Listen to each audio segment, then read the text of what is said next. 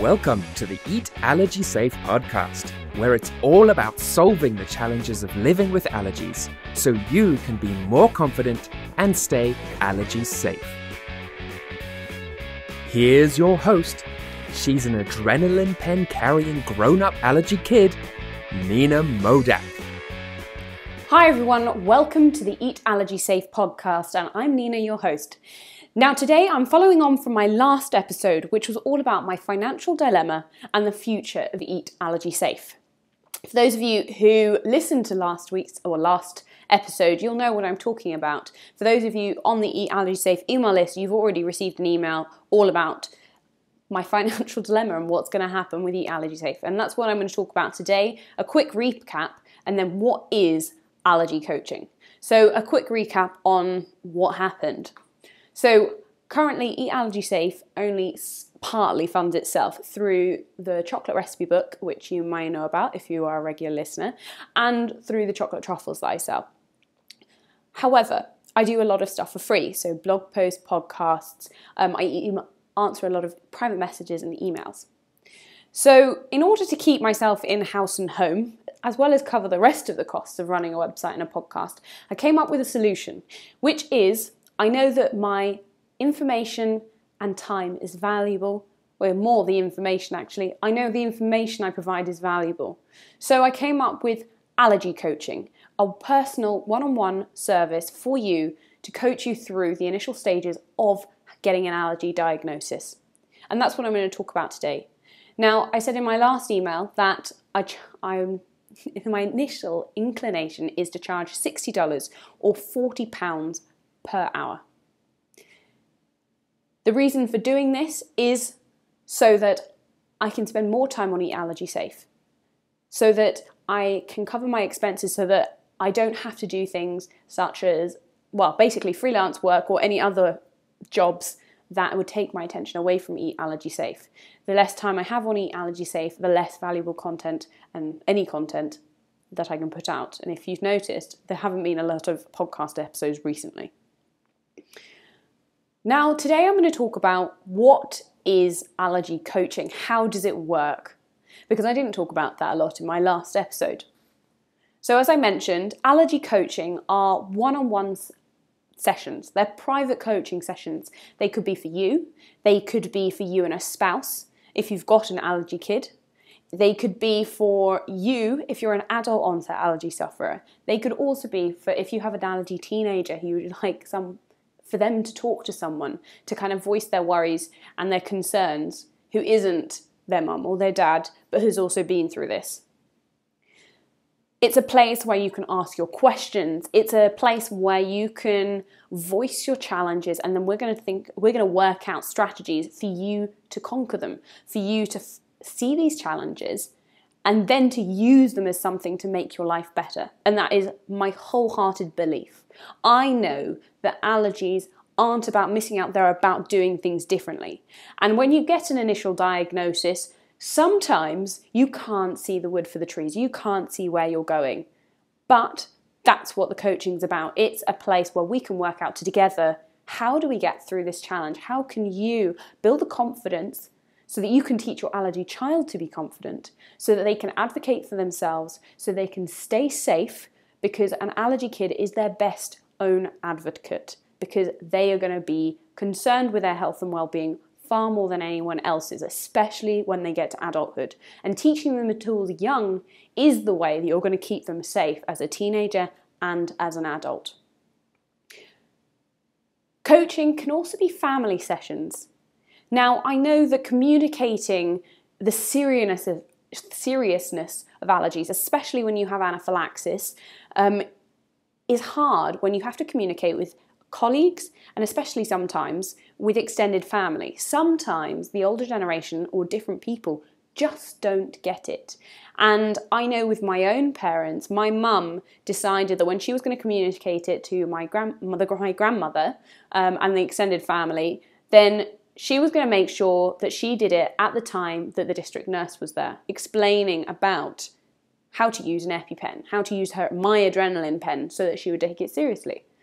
Now, sometimes that's not always possible, but that's what I want to provide. I want to help you communicate with your family the severity of the allergies and also how you can help it bring your family together, how you can rally around your allergy child and make it a fun part of family life.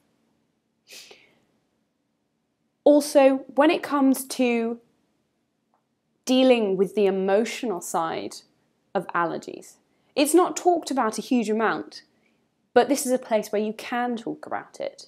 There are times where you feel confused, when you feel hope, uh, helpless, where you feel hopeless, where you feel overwhelmed by the enormity and the seriousness of it. Perhaps you might feel guilty that you don't have an allergy, but your child does, and how can they have the life you dreamed for them or that you envisioned for them with an allergy? Well, this is a time where you can voice those concerns, and then we are going to work together. I'm going to show you strategies, and we're going to work out how you can then start overcoming those and showing your child that allergies aren't about missing out, they're just about doing things differently. So, where, how do we have these sessions? Well, I want to make it as convenient for everybody because allergies are an international thing. No one is you know, everybody could have an allergy. I hope you don't get an allergy, but it's a universal thing. So allergies are international. And I want to make it possible that you can have a session wherever you are in the world. And that means I'm going to be doing it online. I, I thought this was the best way. I mean, if you are in the UK, um, if you are in the Manchester area, I'm available so we can do one on one in person sessions. But for the majority of you, it will probably be online and that will be via Skype or we can do a phone call. So, whatever works for you, that's how we'll do it.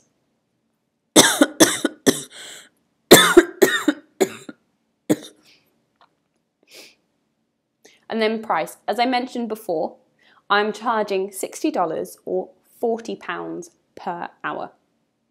And now this could be for you and a spouse, or this could be a family session.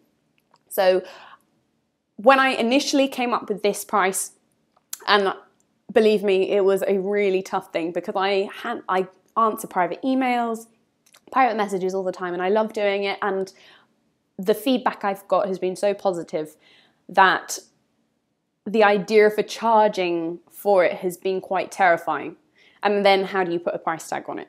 So my other half, when I was telling him about this, he said, Well, that's cheap. Mine's $150 an hour well, I'm not going to be charging $150 an hour. I'm going to stick with my initial inclination and go for $60, £40. So, is allergy coaching for you? Well, are you someone who wants to build confidence?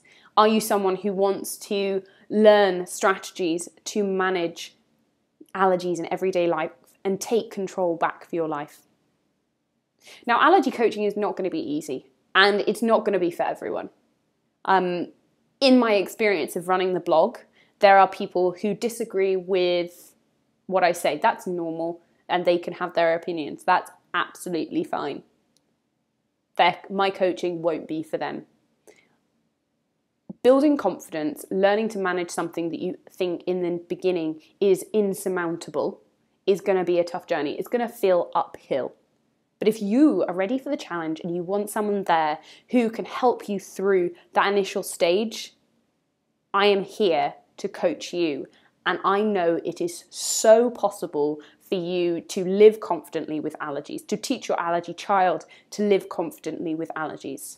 And I am so excited to help you on your journey and to support you on your moving forward. So, thank you for joining me today. Thank you for listening to All About Allergy Coaching. And if you'd like some more information about allergy coaching and get in touching with and to get in touch with me, all you need to do is send me an email. Now, to do that, you can email me directly at admin at eatallergysafe.com or go to the eatallergysafe.com website and go to the contact page and you can send me an email through there. It will get to me directly and I do my best to respond to emails as soon as I get them. So I look forward to hearing from you and we can also set up a 15 minute free consultation. So If you're not quite sure yet, but you think this allergy coaching is for you, we can do a 15 minute consultation and see if we're right together, see if this is what you want, and then we can start moving forward. So I look forward to hearing from you and I look forward to supporting you on your allergy journey. Don't forget to go to eatallergysafe.com, go to the contact page, and send me an email and say that you are interested in allergy coaching. Okay, thanks for joining me, and I will speak to you in the next episode. Bye bye. You have been listening to the Eat Allergy Safe podcast by Nina Modak. If you want to help other people with allergies discover this podcast, then please rate it in iTunes. It only takes a few seconds. Your rating could make the crucial difference in letting a fellow allergy sufferer find out that they're not alone and help is available. Thank you.